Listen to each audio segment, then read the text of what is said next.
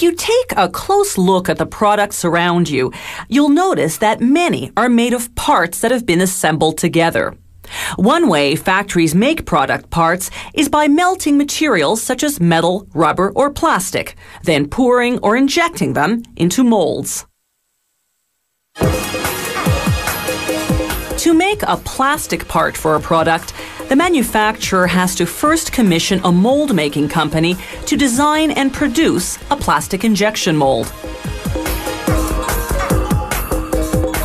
The mold begins as bars of chromium steel, a high durability metal that can withstand repeated high pressure injection of plastic. Workers assemble several bars into a block called a mold base.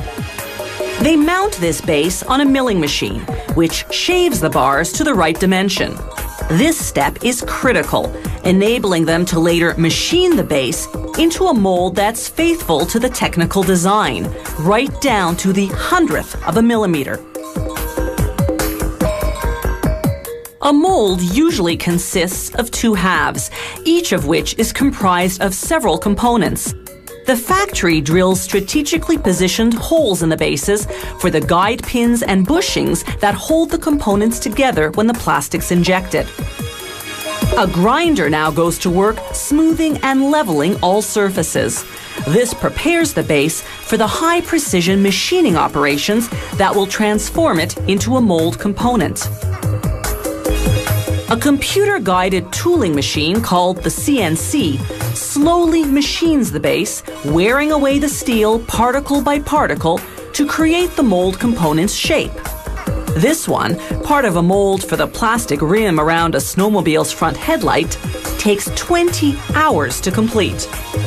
From here, most mold components go on to a second tooling machine especially if they have some fine detailing that this CNC machine is incapable of carving. The second machine is outfitted with a copper electrode in the shape of the plastic part, in this case, a snowmobile oil gauge. After polishing the electrode to ensure flawless casting, they use a sophisticated measuring device to verify the dimensions. The electrode goes face down on the second tooling machine called the EDM. Directly underneath is the mold half that's already been partially formed on the first machine. A strong electric current runs through the electrode and penetrates the mold, forming a cavity in the shape of the electrode. After tooling, they drill coolant lines. This is for the cooling fluid they'll use to accelerate the hardening of the molten plastic. Some plastic product parts, like that snowmobile oil gauge we saw earlier, have lettering on them. The factory engraves the letters in reverse inside the mold cavity. After the plastic's injected, the writing comes out frontward and raised. The surface of the mold cavity is pretty rough from all that tooling, so they polish it smooth to ensure a proper casting. Here's what the two halves of a finish mold look like. The pins and bushings fit together to close the mold before injecting the hot liquid plastic. Once the plastic cools and hardens, it's just a matter of extracting the molded plastic part.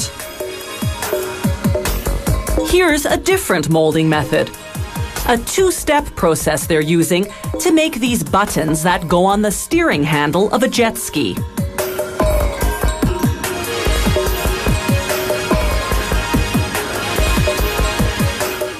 First, they mold a structural base out of hard white plastic. Then they put the base into a second mold and inject a rubber-like gray plastic. This softer plastic covers everything but the raised lettering, giving the button a softer feel.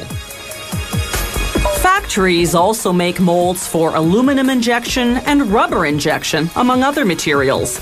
They build those molds from different types of metal, but using the same techniques.